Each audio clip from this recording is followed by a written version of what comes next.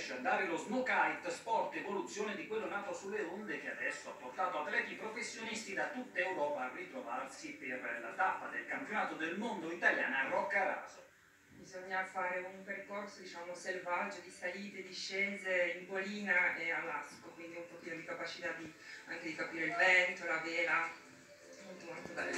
Partenza di buon mattino, checkpoint, trasferimenti e poi dopo un'attenta preparazione via le evoluzioni nella categoria con i sci o in quella con la tavola da snowboard per chi è arrivato dalla Polonia e dalla Germania ma anche dall'Abruzzo e dal Lazio. Io vengo da Roma e pratico anche il kite in acqua, però sicuramente il- lo sport praticato sulla neve, specialmente in quota, è molto emozionante. La gara si svolge in diverse manche, tutte con la formula GPS che permette ai rider di muoversi in libertà, seguendo percorsi sempre più ampi, scelti, comunicati e poi valutati dall'organizzazione, rispettando sempre però le regole di sicurezza.